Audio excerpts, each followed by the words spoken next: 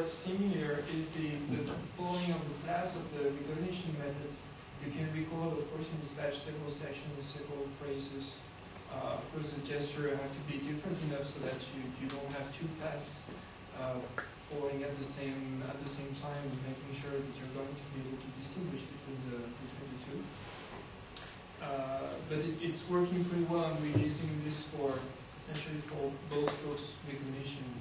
Uh, this module is going to be used as a kind of uh, wristwatch, and the sensor uh, the sensors are no more on the ball itself, but we, we are measuring the, uh, the, the sensors directly on the wrist and trying to recognize the ball strokes with, this.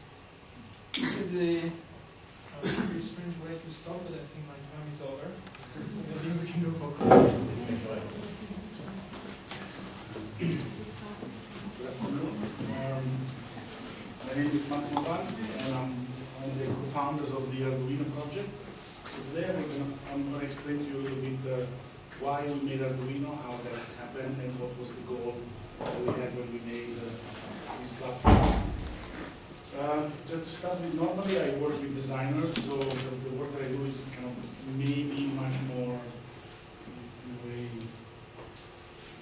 made for designers, while also there are a number of representations before were more specifically for musicians. But in a way, for performance. But as well, people use Arduino also for that kind of stuff. But some of the examples of applications that I will show you are a lot in the area of more design. Um, yeah. These are some pictures of Arduino. uh, this is a, yeah, this was this is a picture taken by this French guy called Jean-Baptiste Labrie. There's a series called Oral Fifth Section. He took a lot of pictures of Arduino boards in the countryside with little girls and. And, but uh, yeah, so Arduino is a platform for physical computing. That's how you know the design call this kind of discipline. Um, that, that, that we designed because we wanted something that was super cheap and very easy to use. Because we wanted uh, as many people as possible to be using the platform. And um, so in a way, we cannot we cannot design the price before we actually design the, the ball. Because the goal at the beginning was to make it cost 20 euros, which in a way, since the beginning was more or less designed for students, the idea that if you have know, 20 euros you can spend, you can buy more than one, you can make multiple objects. But if what you use costs 100 euros, then you buy one and maybe you know. So the Arduino team is composed of these five people. we don't have official pictures, so each one of them is different. so that's You should hire the guy who got the middle one on the top. yeah, apart from that one, all the other pictures were different. Anyway, that's David Cuartielles, the one that is Jesus Christ. That is um, Spanish. Um, he teaches in Malmö in Sweden, but he's Spanish from Zaragoza. And um, and um, that's David Mellis, who is from the US but lives in, um, in Copenhagen at the moment. This is Tom Igoe, which is kind of well known in the world of physical because he wrote the book Physical Computing, and he teaches at NYU, ITP, and that's Gianluca Martino, who's from uh, from Ivrea, and he's the one who kind of deals with all the manufacturing and the engineering of the electronics. So, um, Arduino is composed of three, three or four, three main parts.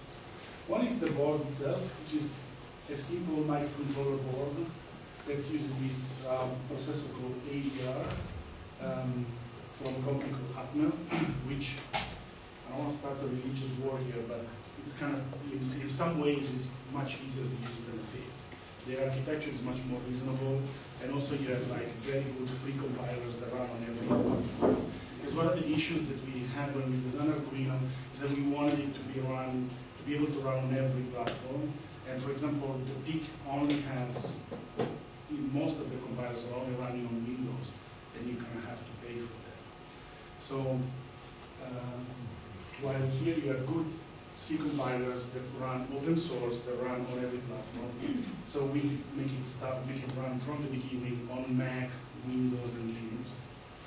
Then the second part is the is the development environment, which in a way tries to be as simple as possible. It only has six buttons, and we can always kind of debate if there's one button we can take away to make it five buttons, because we want also the UI to be extremely simple, because a lot of these tools that people use, especially the students that are learning, but even designers, artists, they're not normally designed for engineers. They have lots of menus that you don't need. Are, the UI is badly, badly designed because they're made by engineers.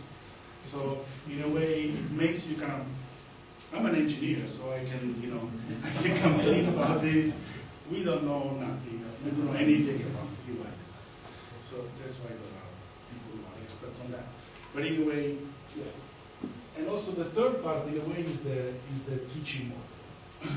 um, you know, when I started teaching, since I was trained as an engineer, I started off by teaching them more or less the way that engineers are trained, which is an extremely boring system. You spend five years in university, and you can get a, you know, at least, you know, in Italy, you can get a degree in electronics, five years of university, and not even touch a ball. to everything completely theoretical. So it, it's. So when I started teaching, like after a couple of lectures, I realized that it was not going to work. You know, because normally when you teach electronics, you start from atom and all this kind of stuff, so it's not going to work. so in a way, I started looking at the fact that I started making electronics when I was eight years old. So I started, I was, you know, I would take apart everything I could see, and I would, I would just kind of join wires together, and you know, if there was no explosion, there would be something. So anyway, that model was something that I tried to kind of implement in the way I was, Teaching. So here we have a picture of the of the IDE in all its glory with the classic hello world of this capability, which is blinking an LED. So the moment you can blink an LED, you're an interaction designer. then it's the Arduino website.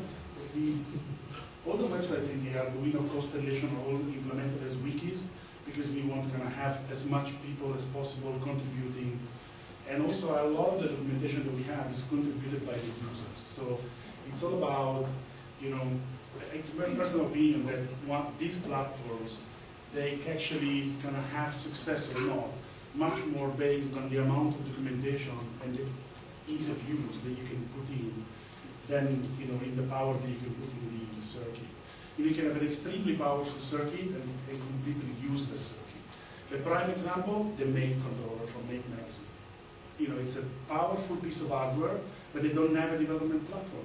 There's no documentation, and the IDE they want you to buy costs $1,000 and runs only on Windows. Tell me if that's the open source kind of, you know, maker's spirit. It's completely wrong. So the idea is that openness and, you know, release as fast as possible and have people kind of play around with stuff.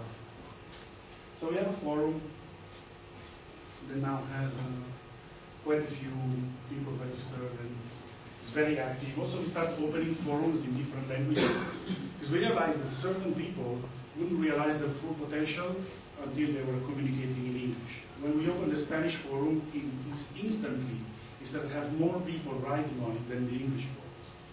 Because these people were holding back because they didn't want to communicate in English. They were kind of feeling the same was for the French, and, you know. no, but I mean, it's, you know, I, I speak English because it's you part of my job. I speak Italian, more, I'm happy. um, then we have this website called The Playground, which is essentially a wiki where anybody can register. There's no control whatsoever, and then you can contribute as much as you like. So all this stuff has been contributed by, by people who use it. So there's like snippets of code, things that people have tried, and how to interface Arduino with any possible language. Of clearly, this thing is messy. It's really messy, but it's the beauty of it. It's the messiness. It is the very immediate. The moment when I do a workshop and somebody comes up with a nice piece of code, I tell them document it now on the playground. No way, do it now. Like I'm gonna watch you and you're gonna document it now. It's like I don't know. Like a few weeks ago, a guy in Germany wrote a piece of code for Arduino that reads um, these PS2 devices, like the old keyboard and mice. And so he had this kind of barcode reader with PS2's uh, protocol. He wrote a piece of code that lets Arduino read barcodes. So I said, okay, I'll document it now. And you can put it on, it's here, it's messy, but it's there, and people can play. Then when the documentation on the playground is kind of stable, we then move it into the main website. And also, to keep with this kind of openness in terms of culture, we're now opening up the, the website to translations by other people. So now a team of people in Germany, from the University of Potsdam, who are going to be translating in German. It's already being translated in Hungarian, and uh, there is a very, very good Spanish website that has actually sometimes more content than the English website. So synchronizing the content is a bit of an issue. So since I can navigate in Spanish, French, you know, I, I, it's, it's interesting when the cultural thing is reversed. Normally you find more stuff in English than in other languages, and suddenly on this website stuff in Spanish is really cool. Or there's a French guy who's making these amazing examples, but the other people don't understand. So translating between the language it is a bit so issue. And also we, we try to make this type of documentation, like this is a booklet that I made that tries to guide people through. And one of the things that I want to do is to have all the illustration drawn by hand because I, we want to give this feeling that it's not kind of polished, it's not, you know, it's not industrial, that it's kind of done by people, you know. That, and actually a lot of people have said that these illustrations are hand drawn as less intimidating. They're gonna they get warm.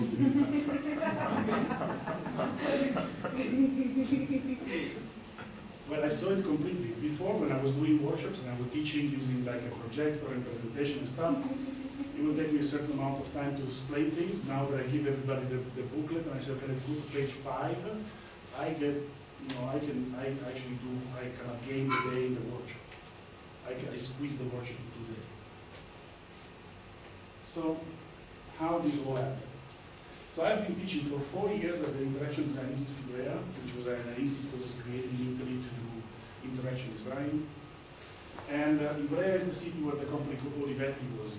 Uh, and Olivetti is important in the story of Arduino because Olivetti uh, was one of the first companies to get design at every level, so in, in products, in the graphic design. They used to manufacture a huge amount of computers, so when somebody decided that Olivetti had to essentially die, in Ivrea, suddenly a lot of people set up small companies making electronics. So over there, it's like a 25,000 people city full of electronics engineers that are doing lots of stuff. And um, yeah, so there's lots of interesting connections.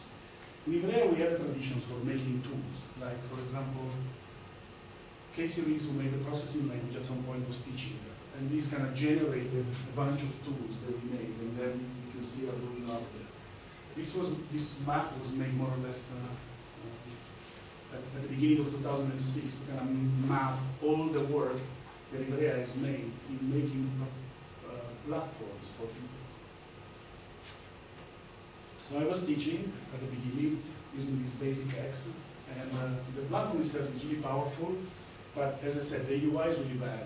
The software runs only on Windows the students were having lots of problems running it in virtual PC and stuff like that, so it was kind of excluding some of the students. And also, they were learning how to program in processing, and then they had this problem, and then they had to move to basic. So, you know, you learn French, and then suddenly next month, uh, you're doing the next class in Spanish, maybe it's not a good idea.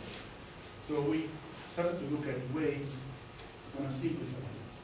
So as an experiment, one year I made this platform that was based on the PIC chips, mostly because in Italy it was easier to find because people were using this to hack the satellite subscription. So you know, they were making all these PIC chip based thing not to pay, you know, to avoid paying the, the, satellite subscription. So it was cheap and easy to find. So I made this using this programming language that's actually invented by a Dutch called Java, which was the only open source cross-platform language for the PIC.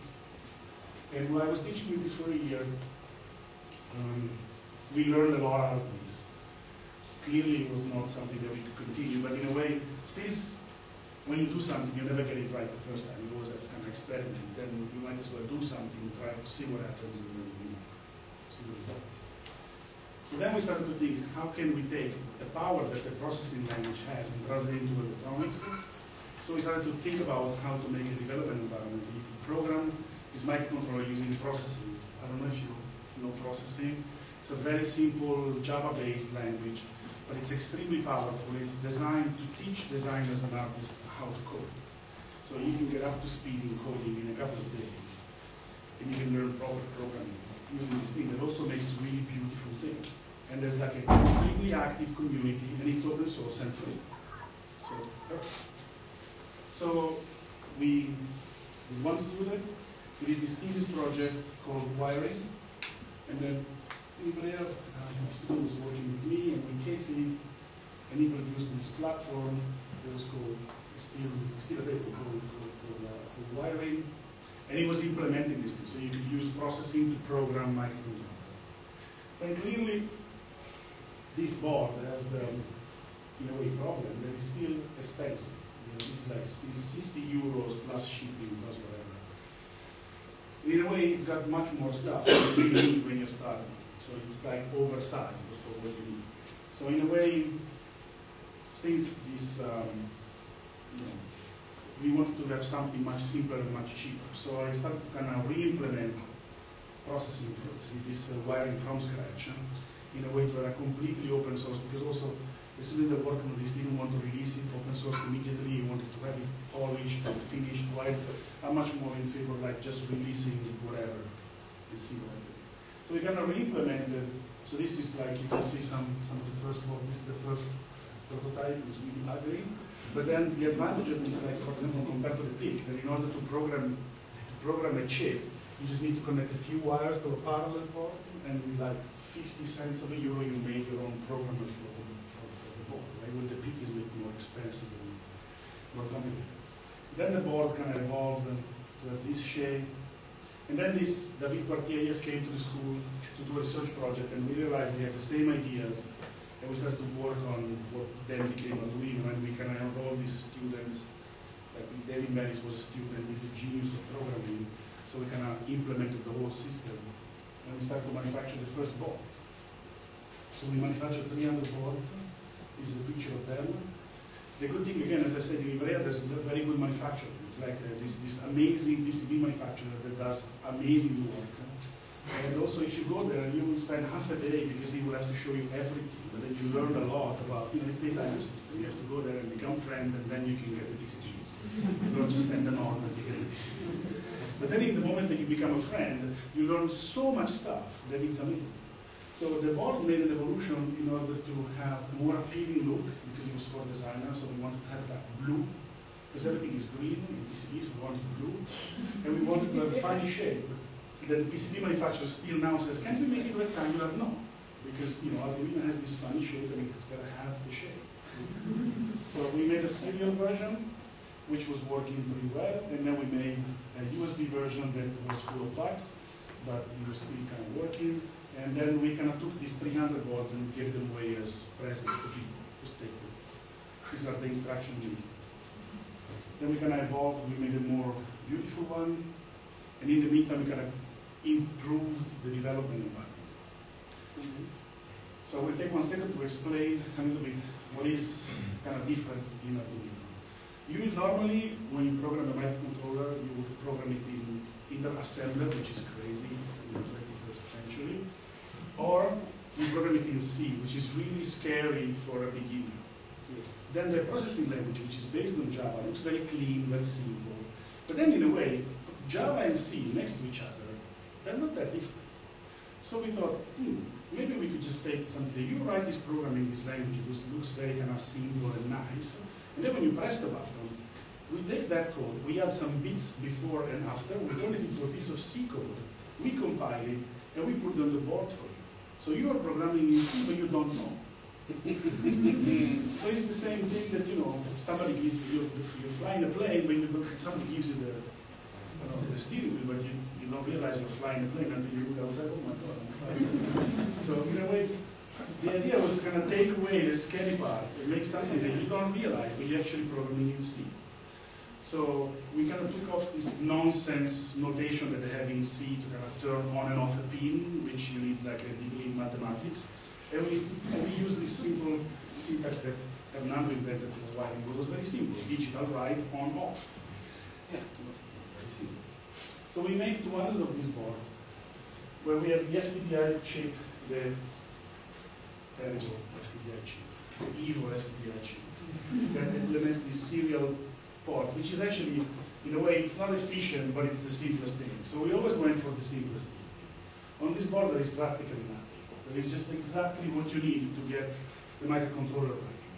So this thing was manufactured and sold for 20 euros The chip is still this kind of old technology you can snap out because you know if you burn the chip, which is very unlikely, probably, I only saw like a couple of people burn the chip. Then you can buy one online for five euros and you can replace it. Because you know, in a way, one of the things that I always hated is like in the 21st century, we lost completely this idea that you can fix things. If your computer breaks, you throw it away. No, you fix it. You take this out and you replace it. And then when I them, ah, well, there's an image missing, I don't know why, on this board, which is the latest one that we made. But the only thing that you should notice is that in the meantime, we became better and better engineering. So the, these ones, we made 200. Then of this one, we made uh, 3,000. And now this new one called NG, which means Nova generation, new generation, let's say, we made about 6,000. So now we're reaching the 10,000 pieces sold, and we are launching you a production of a new board that we are already producing in 10,000 pieces because we're selling it. It's, I mean, a lot of people have liked the idea, the fact that it's simple and it's kind of cheap. And also everything is open source. If you go to the website, you can actually download the design for every board. So some people are actually making their own board.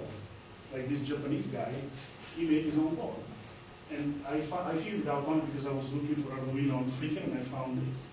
He made his own board, like he, you know, the one he liked in the format. He was teaching a class on using Arduino, the software to program a board that was not our board, which is the great part. More like this guy from Bogota, he downloaded the files and then he removed the name in Italy and replaced it with in Bogota. Very nice, he left my name there. So this is also good about this, that we, you know, you can download the files and you can manufacture them in your country if manufact- buying from Italy is too expensive. I mean, we had to set up a distributor in the US because the taxes for people buying just one Arduino from the US were ridiculous. So we actually went for SparkFun because Tom Igoe is a friend of this guy. So anyway, but because also they are the most important one used by all the experimenters. This is Chile. Some people in Chile decided to have a class, uh, and clearly they couldn't afford, uh, you know, getting the boards from Italy or the US. So they actually etched the board. Consider this board is a dual-sided board, so it's got tracks on both sides. So do, to do this by hand, it, it's like it's craftsmanship. It's like you know, this is like the Sistine Chapel. It's like beautifully handmade. Actually, for this type of ex- experimentation, we actually also designed a board where the tracks are only on one side. It's slightly bigger, but you can actually do it in a very low-tech uh, kind of way. And actually, some Chinese people have started making their boards like that. They hatch them in the kitchen. And also, since the design is available online, some people can download it and then customize it to make their own application. So one of my students, for example, was doing a project for Mattel, and he changed the logic inside the remote control car. So he designed the Arduino board that you could fit in, in, instead of the control board inside the remote control car. And this is good because this guy actually never made PCBs before, but I, I, I gave every student like a half day introduction on how you do your own PCB using this CAD software called Eagle, which is free, and runs on Windows, Macintosh, and Linux. And, um, and then after like a few days, he came up with this beautiful piece. Was the first, Sorry? that was the first time this person ever designed a board? Yes. Unbelievable. I tell you, he was on Very. he's not an electronics engineer. He studied computer science and, and cinema. So I mean, he's good. Eh? The, the, all the students, he's got the what in Italian we say to have the hand. He's got the hand for this. You know? The other students make beautiful PCB, but he always had, had the touch of making all these nice Yeah. You know this kind of hatched pattern. then we started to prototype with other things. So this is like a, we make lots of prototypes because since we have this good connection with the PCB guy, sometimes when we have to do PCBs for, for my customers, I throw in some prototypes so that uh, we can utilize the, the panels. So this is a prototype of the Bluetooth board that we ended up not making because the, the, the Bluetooth module was. And then uh, this one is the prototype of the one that we're going to be selling starting from Christmas. This, this is the pre-production prototype that has been handled better. This is the red, the red boards are our kind of internal limited edition. And once the red boards are working, we go, we make the blue ones. Yes, we're a bit of a design. This one is a very nice module that has, uh, that can reach 100 meters, so it's much more powerful than the standard one. It's very rich, it's got a lot of possibilities, but it's also very simple to program. So we're now making a bunch of examples, because what we do normally, we just generate a lot of examples, because you know, people normally like to take an example and kind of custom and hack it away until they get what they want instead of because the manual for this thing is really complete, but even I sometimes I'm like, like pages and pages in this PDF to explain something. With an example, you could explain like half a page, it's ten pages of like finish um, description the details. It's about that of the Ethernet port. Like a number of the boards that we can they become Arduino are, are boards that maybe we make for some customer. I made this for a customer for an exhibition in Milan because I use OSC. I can borrow the OSC protocol, but I use it to to distribute data when I do exhibition. So I have a number of these boards reading sensors and sending data using So this is like the evolution, and again we can we will start selling it. This one, for example, is another board we made. Some people started to ask us for a very tiny board, like this one. So we thought, why don't we make it in the same shape of the basic stamp, which is like the most common platform on the market, which is ridiculously expensive because it's a 10-year-old product that costs 76 euros. And It's slow. It's slow, it doesn't have analog inputs. I mean, people use it because there is a huge amount of documentation. You know, you can't go wrong with that. If you're a teacher and you are lazy, you just buy the basic stamp and there's like loads of manuals that you can use. Only idiots like me invent new things.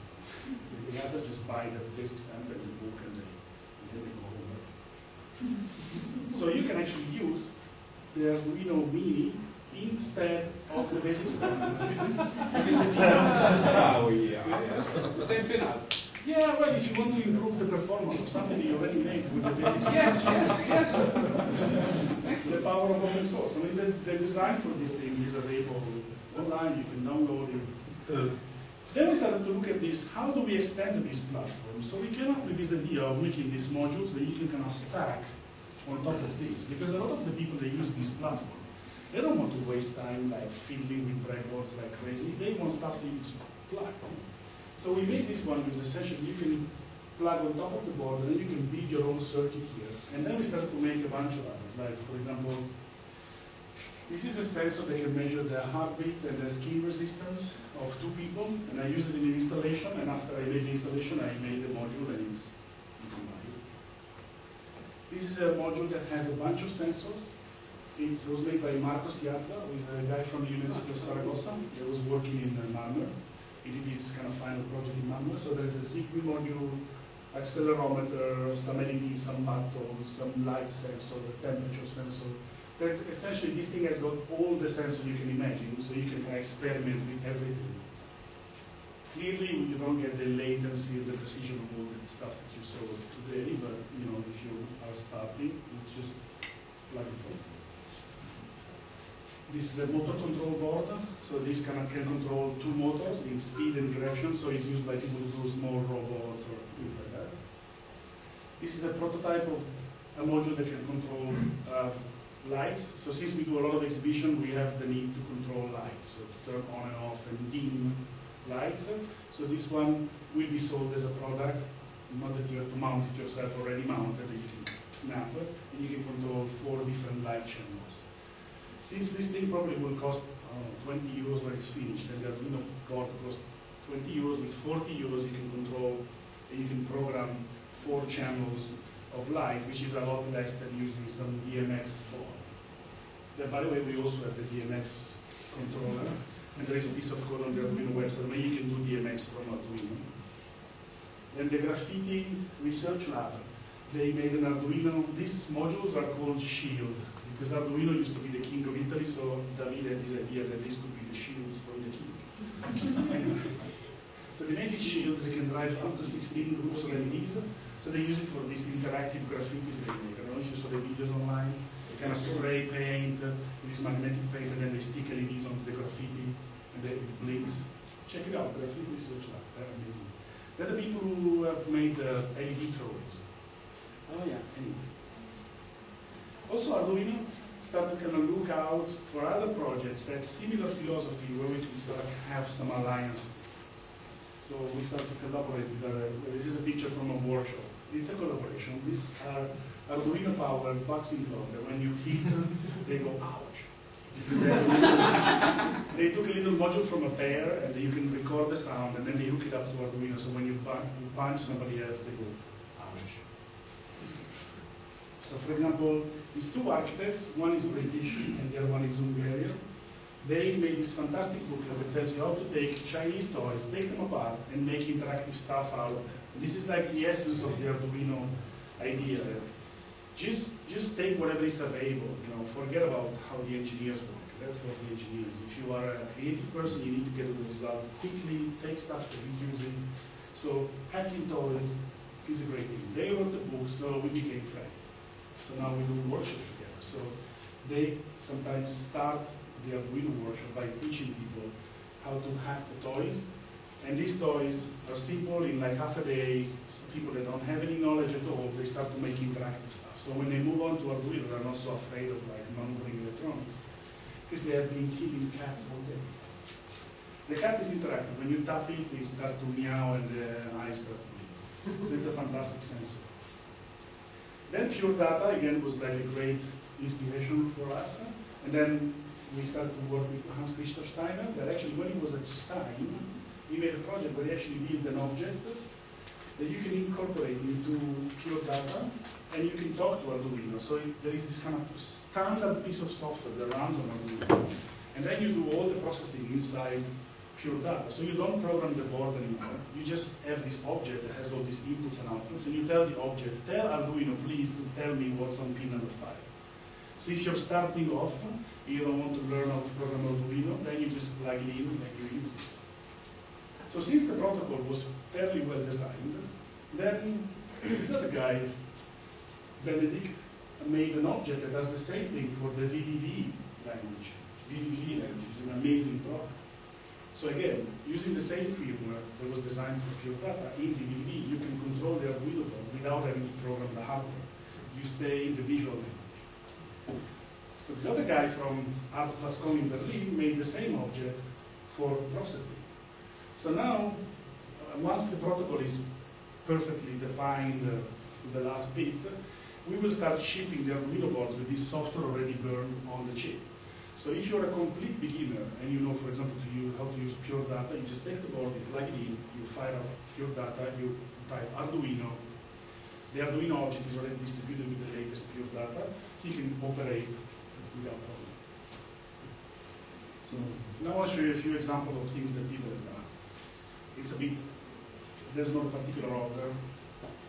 We don't really have a list of what people have done with Arduino because there's like already like 6,000 boards already out there, so it's a bit difficult to figure out.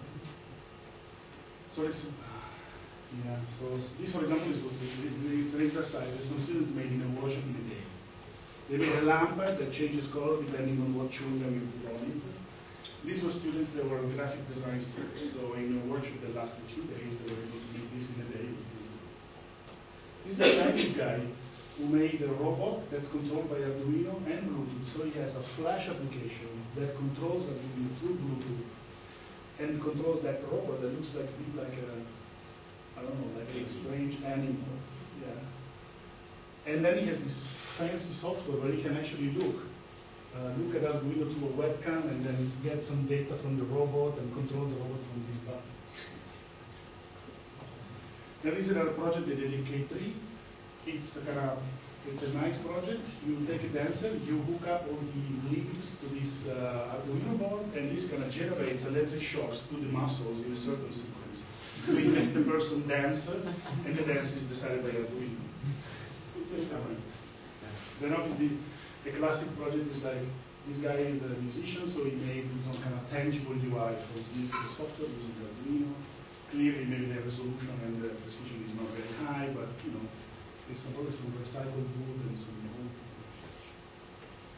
So we also have like modules that let Arduino speak MIDI, so you can see here like an Arduino board talking to a bunch of meetings. This is again catering, you know. Then some people at Hangar, Barcelona, they made this uh, thing called six pack. It's an Arduino board that has a module that's plugged on top with six, six sliders. And they made a piece of software that runs on their computer. You can use these six sliders, a simple controller for applications or sound. Again, it's an open source thing, you can download the design.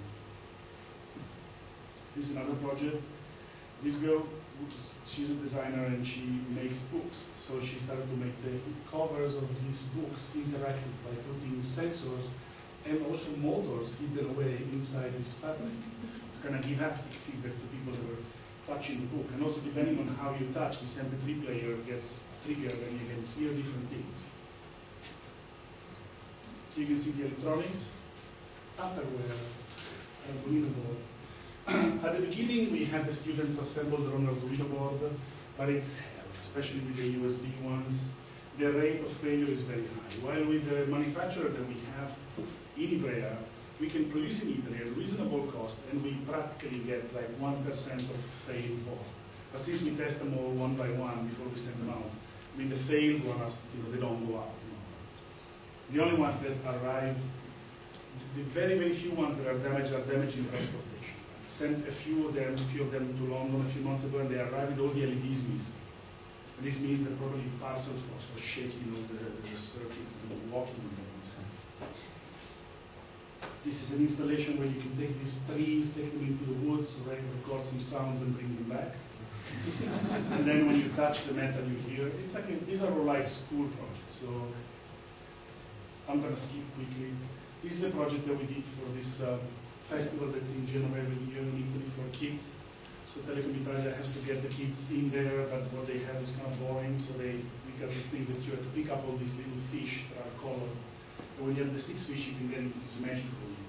When you put the color fish in one of the slots on this thing, the fish of that color will start to swim. So you put a red fish, and this red fish has to start to swim. It's very simple to do it for kids. But it was extremely successful, and it was very simple, because instead of having like something complex like barcode or referees, we just use colors. So we made this kind of super simple color sensor, and um, so they just shine a color light on the object and they measure how much light comes back. It's super low tech, very cheap, and it. These are more serious stuff. It's uh, like prototypes that we built for Artemide. It's like a big lighting company makes fancy design lamps. So, and these are all powered by different types of Arduino boards. We made customized Arduino boards for these. So this is a lamp that you control by kind of sliding your hand in and out. Or this one, ah, damn it, you don't see, like, there's like a rubber thing at the bottom. And you squeeze it and you can turn on and off the lamp and you can charge it by squeezing this thing. The see, this thing is all kind of translucent plastic. You can see there's nothing inside, but it is magically you don't really see where the switch is. But there is a pressure sensor, and the Arduino board is in here. Or this is like an LED portable lamp that has, difficulty can change the color, and this is like a customized Arduino board that uses like an iPod style sensor. The code to read the sensor is available on the on the website, and this is like a customized Arduino board that was made specifically for that thing. I mean, one of the things that we developed that we can use when we do consultancy projects, that when we work with customers, we can design a board and have it manufactured in five days. So when we make a prototype, we don't give them a piece, we don't give them like wires going all over the place, but we give them, give them that. And that kind of helps in making stuff that you can. This is a project a student of mine made that it was the idea to turn anything into a controller for games. So again, it's like a customized Arduino board with a wireless transmitter. Clearly, the latency, okay, the latency is terrible, but but the project is fun. It's the biggest part. So you can control, for example, by moving around on the chair. I'm gonna skip a few of these projects. Like this is a product I made that's actually on sale. It's an RFID-driven video player that can be used to make exhibition. This is an exhibition for a watch manufacturer where you kind of have all these objects. You place an object on a table, and then the video gets played. Or this was at the Salone del Mobile in Milan. Somebody made this punch bag you punch, and then the Arduino reads all the signals and kind of distorts a 3D model, and then makes a, an object for you. So when you want to buy a vase, for example, you can shape the vase by punching this thing. And so he kind of figured out how to read 96 analog inputs from the Arduino and send the data to a 3D model, and then the 3D printer makes the, the, the the bar. These are like customized LED displays that we made for, for Whirlpool. We made an exhibition where we made all these kind of prototype of future types of uh, appliances. So we made all these kind of fancy scrolling LED displays with tiny LEDs. I will skip. This is um, Centre Pompidou. It's an installation made by Fabrica using the Arduino board detecting people moving. This is the Hungarian pavilion at the Biennale. It's all about, there's a bunch of Arduino boards controlling the Chinese toys. So when you enter this space, all these Chinese toys start to move. So the penguins start to talk and discuss start to move. So then we were lucky that we got published on, on Make magazine. So we got a lot of visibility, and so that kind of helped us a lot. We, we also won an honorable mention at. You see the completely. And then somebody started to say, maybe Arduino is the basic stuff because the cost is kind of slightly less. So who's using Arduino? It's like a small selection of people who's using Arduino. I don't really know exactly what it is. The list of customers is very long, and uh, but there's a number of schools that use it around the world. And we made workshops all over the place. So we have uh, lots of different things. But we, there's lots of people that make Arduino workshop that we don't know about. Sometimes I'm like browsing the web and I see, oh, there's a Arduino workshop in Brussels. And then I look at the name of the guy who's in the workshop. I don't even know the guy. He's running the workshop. Yeah. So the future is to develop more boards. So we're going to release the Bluetooth. We're going to have the Ethernet. At the beginning, the Ethernet will only have an OSC-based firmware, so you won't be programming the chip through the Arduino environment because it's a bit complicated to deal with all that TCP/IP stuff. But there will be like an OSC-based firmware. And also, we're experimenting with making different products using Arduino. For this is an interactive multiplayer.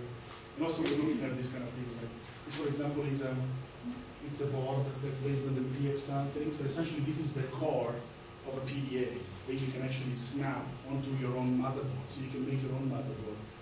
And all the complicated stuff is on this little module. And this can this runs Linux and Windows. So we use it for our own customers. But uh, you know, when we could easily port our environment to program this. So when you start to program this Linux box with an environment that only has six buttons, and you don't have to worry about how the things work because everything is kind of hidden away from you. Then it starts to become easy also to use these kind of more complex things. This thing also has like audio in, audio out. So the last slide. Everybody asks me where the Arduino name comes from. It's a king of Italy, but actually it's the name of a park. Sometimes you might remember this Oh, park. yeah, It's in the triangle square. Christina wasn't there. And this, yeah, when we had to pick a name for the board, we only had like five minutes because the manufacturer was on the phone. So we had like, what do we do, what do we do? And then I said, okay, let's make Arduino. Because in Ivrea, everything is Arduino here, Arduino there, because he was the king, so. So that's how Arduino happened, and it's, it started in January 2005, and now, you know, after, we're approaching two years now. And it's been, we never expected to be so successful. Very. Um,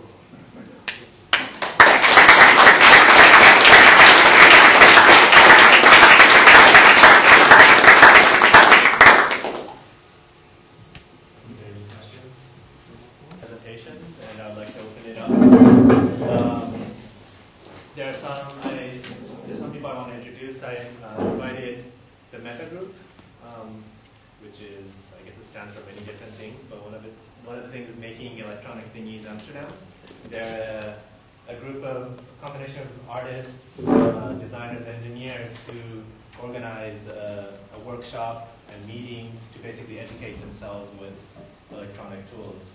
Um, so we have Dirk, Mark, Kai, and Herko here to join us, and then also everybody else. Um, and also, I have planned 30 minutes for this roundtable discussion. So people could just keep that in mind, and after that, we'll go out and they'll have drinks, and that'll be a place for more informal kind of topics. Um, so first, I'd like to um, ask some of the opinions of the users, and I maybe ask somebody from the meta group, um, if you could summarize, you know, wh- why you guys as the users get together and why you, you know, create workshops and Started when was it? This year?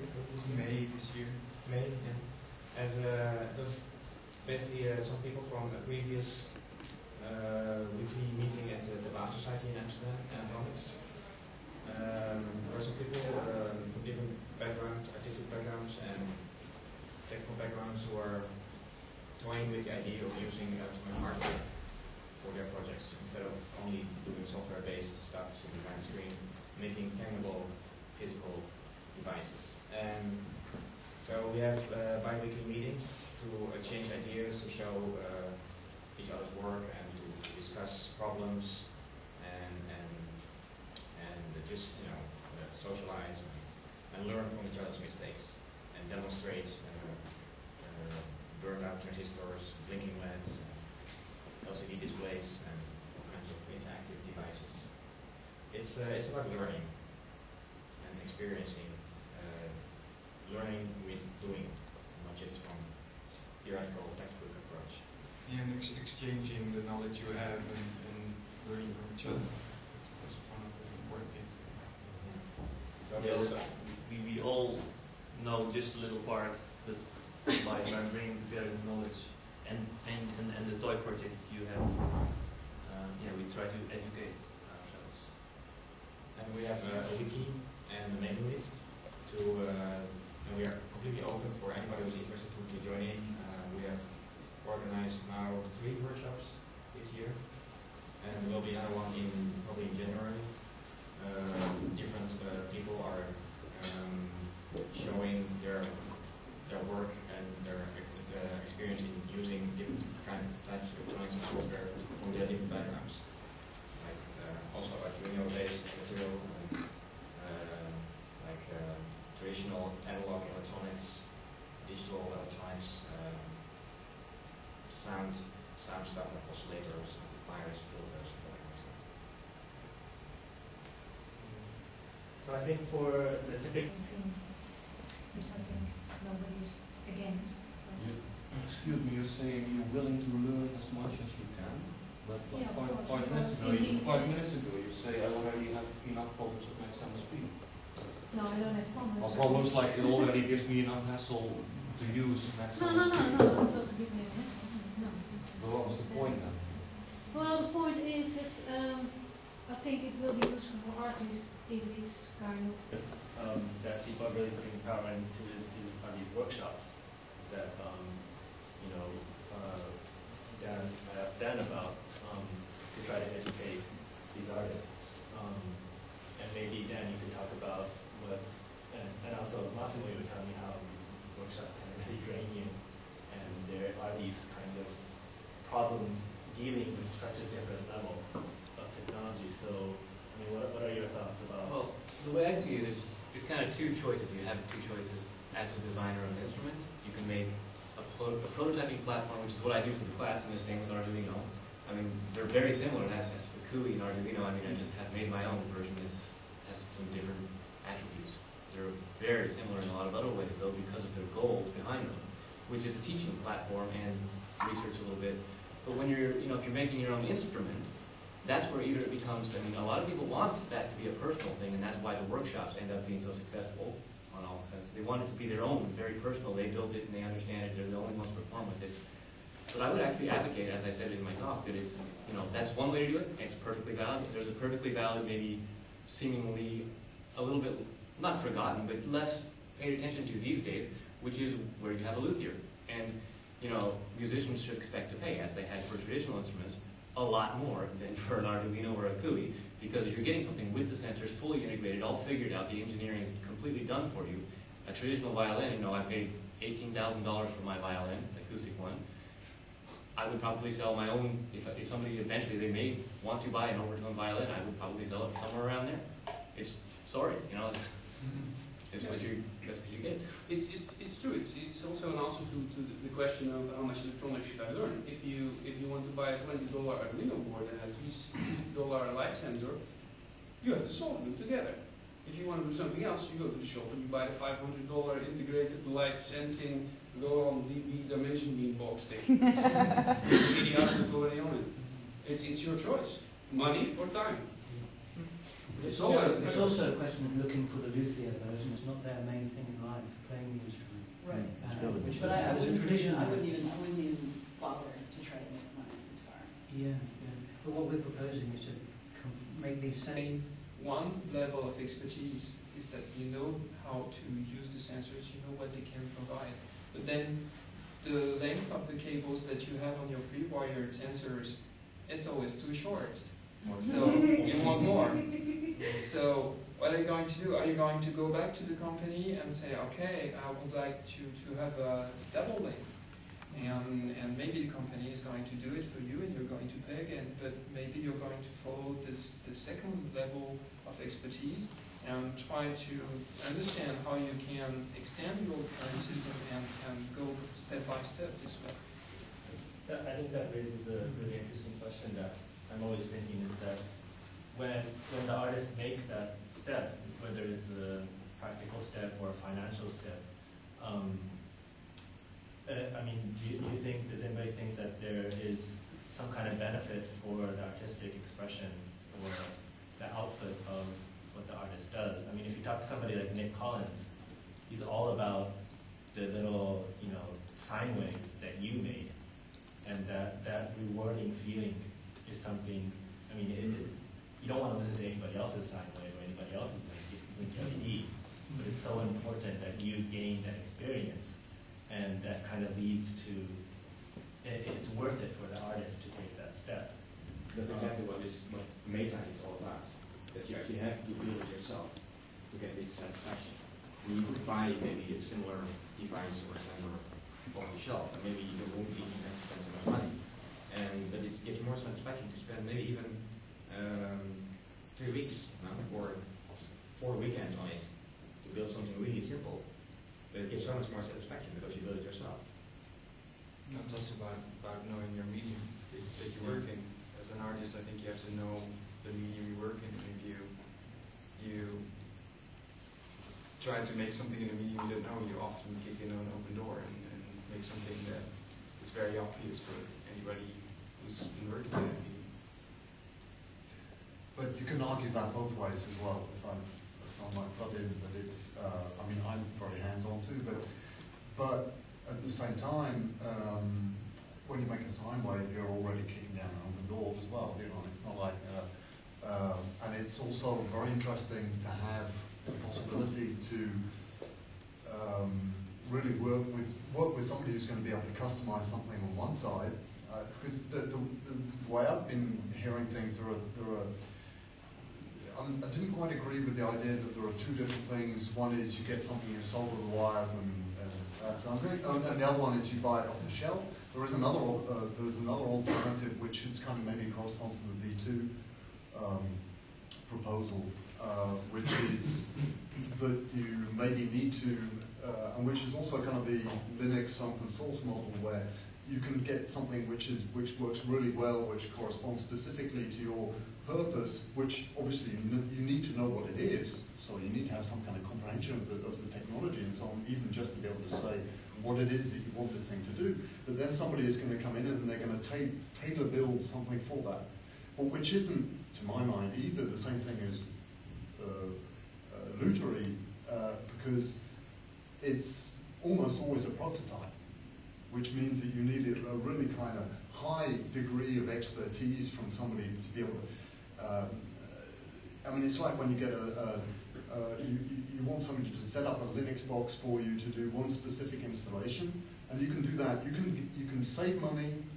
uh, by actually using a really cheap computer, but by getting somebody in who knows really how to program that thing so that they can get all the, the, the best performance out of the machine, and for, for the, uh, the, a quarter of the price of a, of a Macintosh, you can get a Linux box which is going to be uh, doing the same job.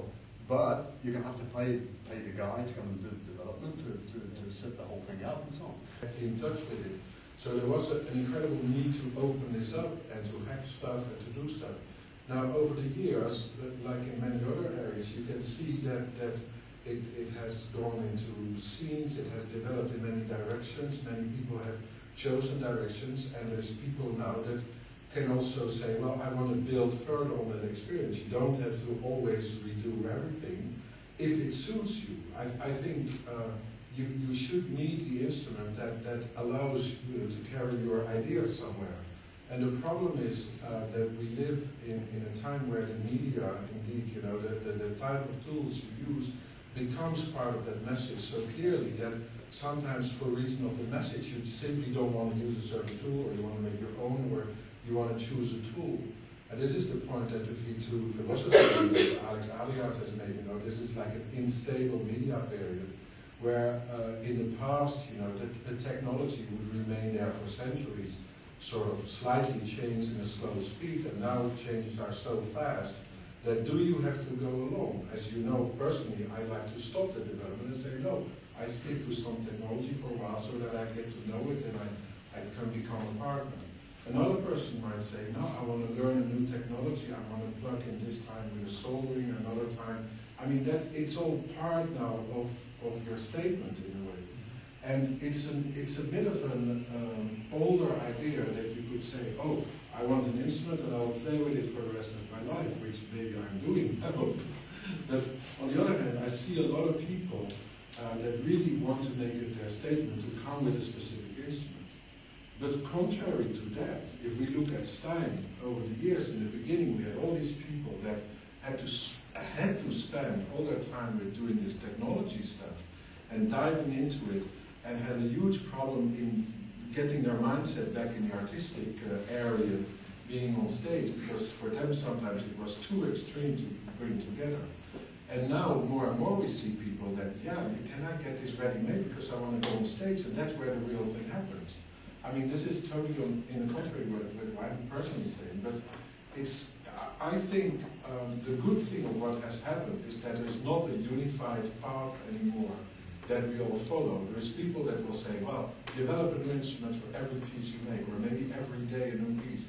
Other people might say, no, like one of the projects we want to do at STEIM, which until now nobody's really doing, is build the simplest possible instrument that you can, you know, imagine to make sound and give that to maybe six people and ask them to play with it for two years. you know, what happens in different habits? How will people develop personal style with using a totally simplistic instrument? It's a very interesting research, I think, to do. I mean, it's totally against what we said like 20 years ago, where we said, no, every person should have its own instrument.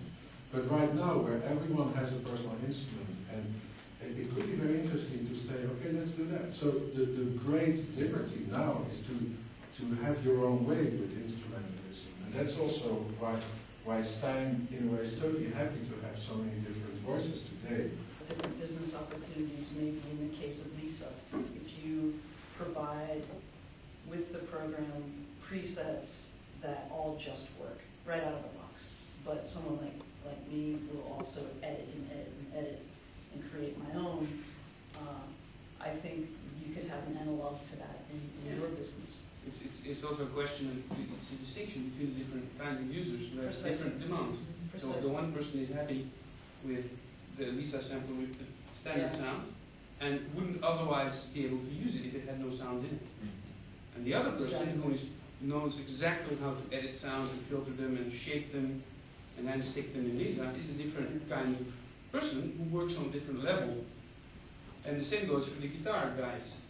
The guy who takes I- think guitar apart. It's not even would it, it doesn't even have to be different persons, but it's a it's a different um, evolution of this person. Yeah. I mean, Yeah. I began programming computers with putting a, a floppy in it and pressing run, and it gave me blinking things, and I thought, oh, that's cool. And now I program it myself. So, and I dig into the kernel and all the all the, all the nasty stuff. Yeah. Yeah, that's, that's, a, that's a So- personal, personal evolution. I'm not saying that doesn't happen, of course, but I'm saying that different people at different points in their careers have different demands, or even at the same point, different demands just for different installations. And still, if if you are a Lisa user who wants to edit their own sounds, you have to know about sound editing. You have to know about samples. You have to know about the waveform. If you are a, a guitar player who wants to undo and redo his guitar, you have to know the physics of guitar building. If you want to work with sensors, you have to understand them. You have to be able to solder, you have to understand the differences between signals, symmetric signals, asymmetric signals, analog supplies, digital supplies.